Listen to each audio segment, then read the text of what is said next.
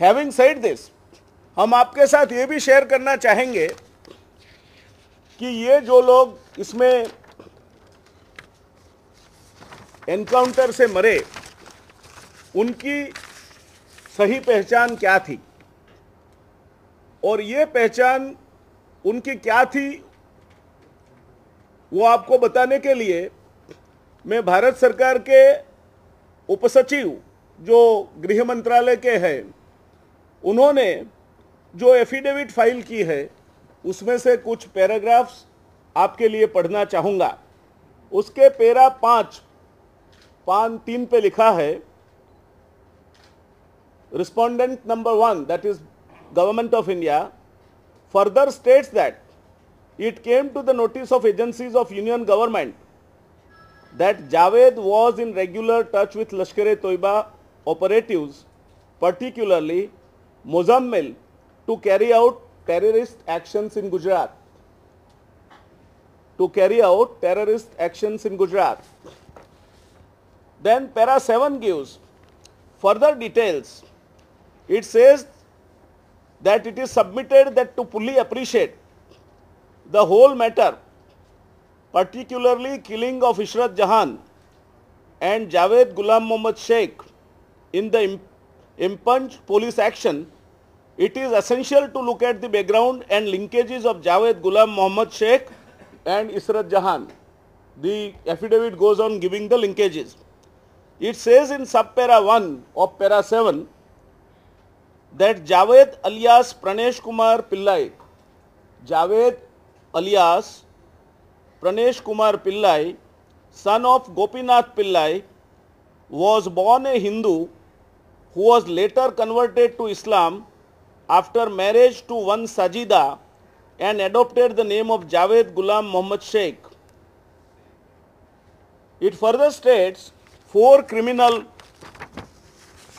cases were registered against him in Thane district, Maharashtra between 1992 and 1998 when Javed Ghulam Muhammad Sheikh was residing in Mumbra, Thane, which indicates his criminal background. So number one, that Javed had a criminal background.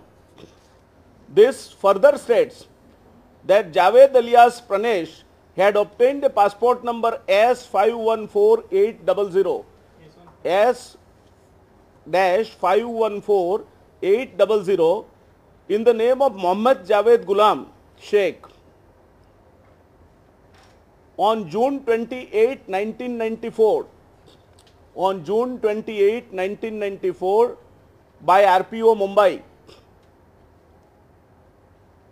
On this passport, he traveled to Dubai and worked there for considerable period. Javed obtained another passport. So he held more than one passport. He obtained another passport number E double six two four two zero three.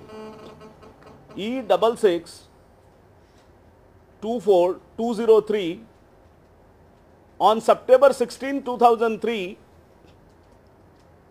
in his earlier name, Pranesh Kumar Manaledi Tekku Gopinathan Pillai, son of Gopinatha Pillai from RPO Cochin. Though he had never lived in Kerala, he obtained another passport. Despite that he never lived in Kerala and his first passport that was issued to him was valid till June 2004. So two violations again. You are obtaining another passport, holding already a valid passport in the different name and from a different place.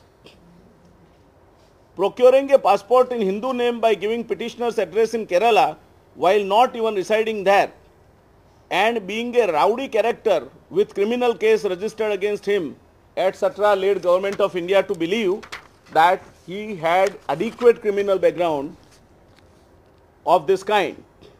Then if I go to para 8, it states, now we come to Ishrat Jahan's background. On para 8, it states that July 15, 2004, July 15, 2004 that Lahore based Ghazwa Times, Lahore based Ghazwa, G-H-A-Z-W-A, Ghazwa Times, mouthpiece of Lashkar-e-Toiba had said that the veil of Ishrat Jahan, a woman activist of Lashkar-e-Toiba, was removed by Indian police and her body was kept with other mujahidins, terrorists on the ground. Ishrat was with her husband sitting on the front seat of the car. This is what LET on their website uh, uh, on their mouthpiece mentions and these news were carried by uh, uh, a wide sec section of media including the Times of India, the Hindu, the Indian Express and others. Then coming to the vehicle, the government of India's affidavit says that it is evident that Javed and Ishrat were activists of the terrorist organization LET and and more important the car number MH02 JA4786 MH02 JA4786 was never registered as a taxi was never registered as a taxi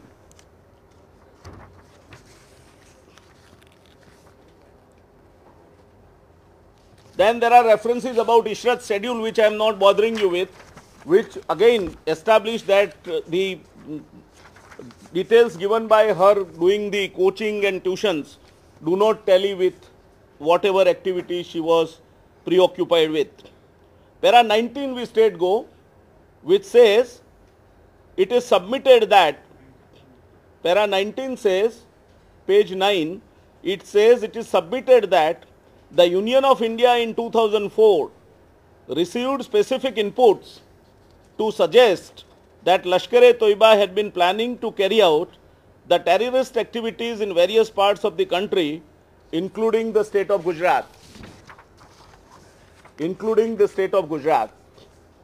The answering respondent number one, Union of India, the answering respondent number one, Union of India, was also aware of the inputs that Lashkar-e-Toiba was planning to carry out assassination of some top level national and state leaders. Union of India was also aware of the inputs that Lashkar-e-Toiba was planning to carry out assassination of some top level national and state leaders. Lashkar-e-Toiba in the regard had asked, has tasked, Lashkar-e-Toiba in this regard had tasked its India-based cadres to monitor their movements. Union of India and its agencies were and are regularly sharing such inputs with the state governments, including the inputs mentioned in this paragraph. So this is this was the inputs given by the government of India. Now the remaining two persons background, I'll read out uh, for your reference, which is given in para 20.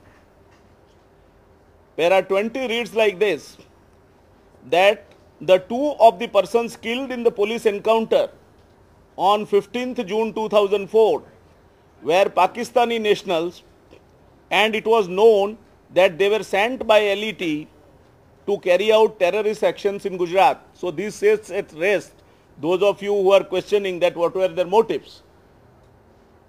One of the killed LET cadre and Pak national was Amjad Ali alias Babbar alias Salim. He was earlier arrested by Jammu and Kashmir police and he had entered India under express instructions from Muzammil for organizing terrorist networks in Gujarat and Maharashtra. So this is specifically focused on Gujarat. That he has entered India with a clear-cut focus and clear-cut mandate to organize terrorist networks in Gujarat and Maharashtra.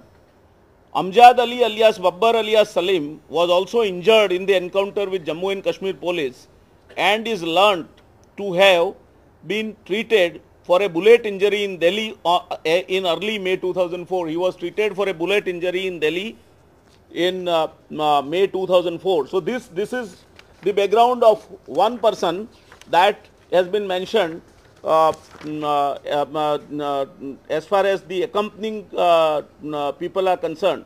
So Amjad Ali was clearly identified as a mm, Pak national and the accompanying team also had a clear focus and mandate for organizing terrorist network in the state of Gujarat.